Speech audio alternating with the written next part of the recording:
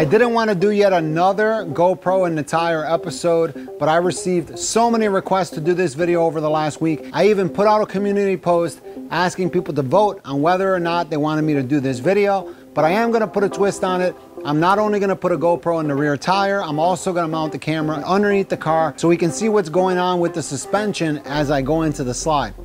I'm not gonna waste any time. I'm just gonna jump right into this and get straight to the point. Look at the size of that tire.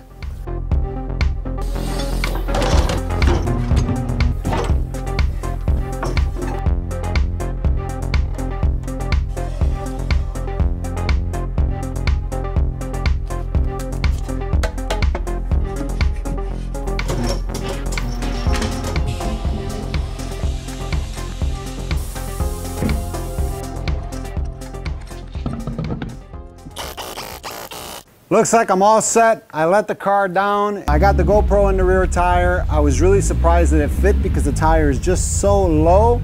And uh, yeah, I'm ready to hit the road. Let's see what happens. The only thing I am really worried about is just what the centrifugal force is gonna do because that's the big difference between the first video I did and this video here. There's a lot of centrifugal force pulling the camera outward. I mean, we all saw what happened in that second video where I do a burnout to failure with the GoPro and the tire, it just kind of ripped it apart. Only one way to tell for sure, and that is to get the car on the road and see what happens.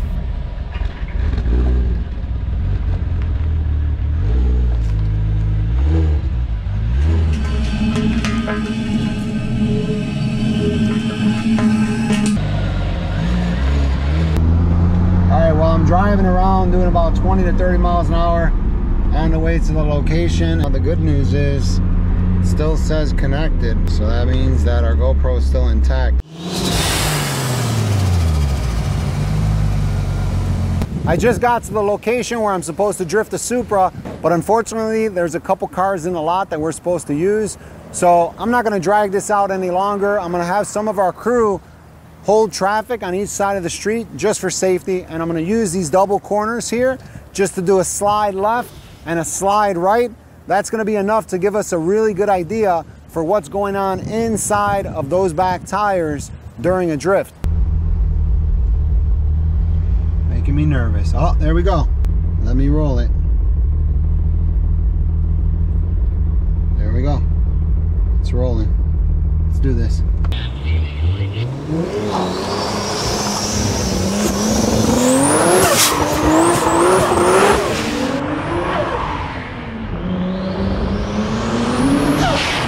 I'm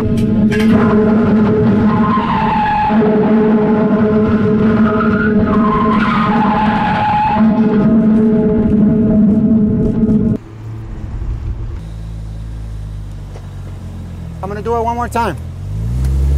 I don't wanna do anything crazy to dislodge this camera. Here we go. I'm gonna do the best I can.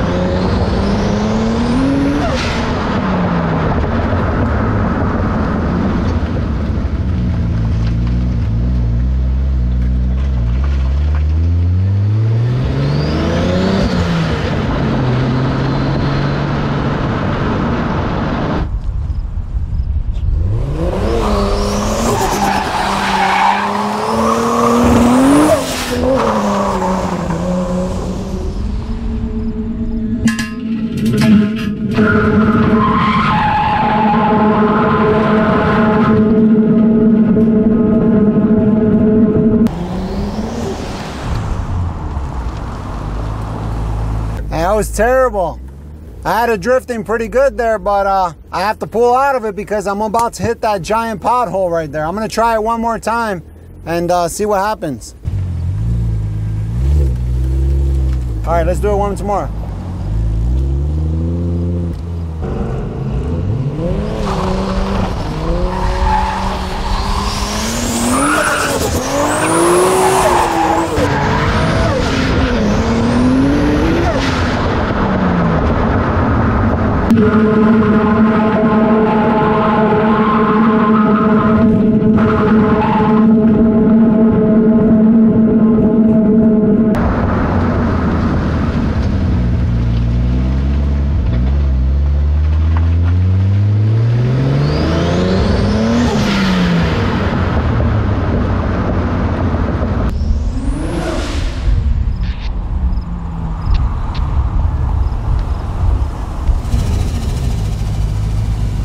Was a little bit tough. It's a little bit too hard to drift here. I don't think I could do an actual drift. The pavement is too rough. The tires are too soft. I have too much traction and too much power. After that first turn, once I hit this second turn, I'm already doing like 50 miles an hour. By the time I get right here, then I have to hit second gear somewhere there. And then I got a giant pothole 20 feet right after I hit second gear and a more enormous pothole 40 feet down from that. And I don't have drift tires either, but it looks like the GoPro stood connected. I got the footage. It's definitely possible to put a camera in a rear tire during a drift. Yeah, that was quite an accomplishment for me. And uh, while this wasn't a legitimate drift. My car is not set up for drifting by any means at all, not even the slightest. So that was the best I can do here. But I think that was enough to give everybody an idea of what was going on with the tire inside. I had a combination of lateral forces and wheel spin, which is exactly what happens with the drift car. That's exactly what those tires are going through. You see, it is possible to get that camera in the rear tire during a drift. So I would totally be open if anybody wants to see an actual real drift car on a drift track. I would totally be open to uh, collaborating with one of those Formula Drift teams or anybody else to uh, do this again in one of their cars. Just an idea. That's all I got for you. I'm gonna end this here. Thanks for watching. Hopefully you enjoyed it. Tell me what you think in the comments below. And again, the only reason I did this video is because everybody asked for it. See you soon. Adios.